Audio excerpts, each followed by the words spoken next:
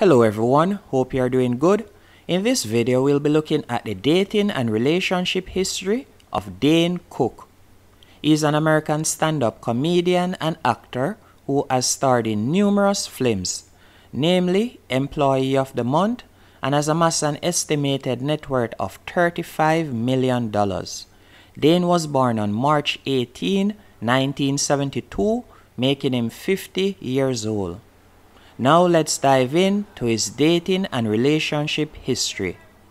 Dane Cook and Raquel Montero were together for a total of five years, from 2004 to 2009. It was also rumored that during the shooting of the movie Employee of the Month in 2006, Jessica Simpson and Dane Cook dated. Nicole Scherzinger and Dane Cook dated for seven months from March to October of 2007.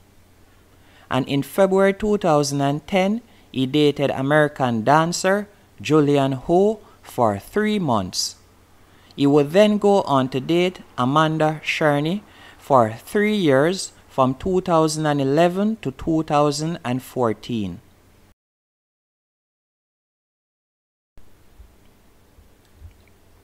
But since July 2017, he's been dating American singer Kelsi Taylor and they got engaged in July 2022.